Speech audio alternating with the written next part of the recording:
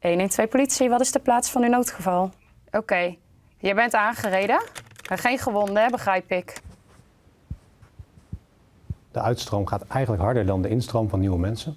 En op de meldkamers werken ook echt specialisten waarvoor je niet iedereen kunt aannemen. Dus we hebben mensen nodig die dit werk kunnen. Het is ingewikkeld werk. En daarvoor moeten dus tijdig mensen werven. Je maakt natuurlijk heftige dingen mee, dus daar moet je wel mee om kunnen gaan. En dat is echt van groot belang. Ehm, en je moet goed, uh, goed weten wat je doet. En dat is echt gewoon ontzettend belangrijk. Maar we merken echt de afgelopen jaren, mede door de vergrijzing, dat, dat, uh, dat mensen eerder weggaan en dat we lastiger nieuwe mensen kunnen vinden.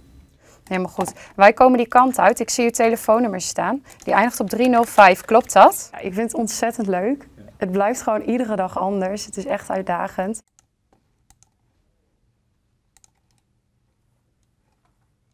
Nou, we hebben het, het is wel spannend, maar we blijven wel scherp monitoren dat we de dienstverlening aan burgers in nood altijd kunnen garanderen.